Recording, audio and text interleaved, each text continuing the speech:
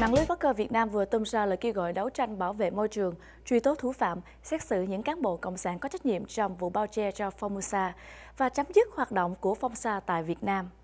Lời kêu gọi đó đã truyền đi nhanh chóng trên các trang mạng xã hội để duy trì cuộc đấu tranh lâu dài và có hiệu quả. Mạng lưới blogger Việt Nam kêu gọi các tổ chức trong cũng như ngoài nước hãy gạt bỏ những khác biệt để ngồi lại cùng nhau đấu tranh qua hai giai đoạn.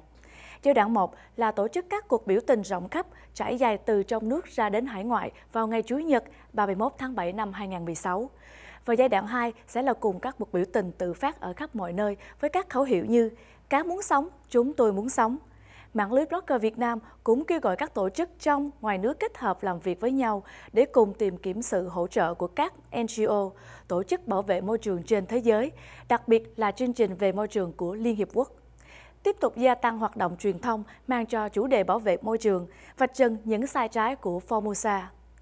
Mạng lưới blogger kêu gọi sự tham gia của nhiều bạn trẻ và tạo thành một cơn bão lớn nhằm khôi phục cũng như bảo vệ môi trường, bảo vệ ngư nghiệp, chủ quyền Biển Đông và bảo đảm rằng quốc gia Việt Nam có được một cuộc sống an toàn, lành mạnh và tự do trong mọi lĩnh vực.